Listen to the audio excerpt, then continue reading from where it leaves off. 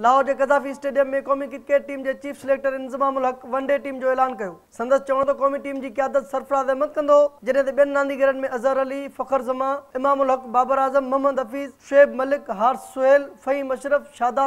नवाज़ मोहम्मद आमिर हसन अली आमिर यामीन ऐं रुमान रईस शामिल आहिनि त तो वनडे सीरीज़ ला चूंडियल समूरा क्रिकेटर फिट हैं अमाद वसीम जो पुराणो मसलो हो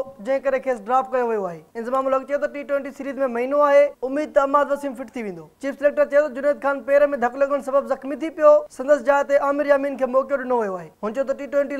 रांदीगरनि जी फिटनेस टेस्ट ऐं ॾह जनवरी ते थींदी इंज़माम सोएब मक़सूद कमबे जो उमेदवार आहे हू बि फिटनेस टेस्ट पास करण जे वेझो हो पर खेसि वधीक महिनत जी ज़रूरत आहे क़ौमी क्रिकेट टीम टिनि ॾींहंनि जे मुख़्तसिर कैंप बाद सतावीह डिसंबर ते लाहौर खां अकलैंड लाइ रवानी थींदी जिते पाकिस्तान ऐं न्यूज़ीलैंड विच में पंज वन डे ऐं टे टी ट्वेंटी मैचुनि ते ॿधलु सीरीज़ खेॾियूं वेंदियूं न्यूज़ीलैंड जे दौरे जी बाक़ाइदा शुरूआत छह जनवरी खां थींदी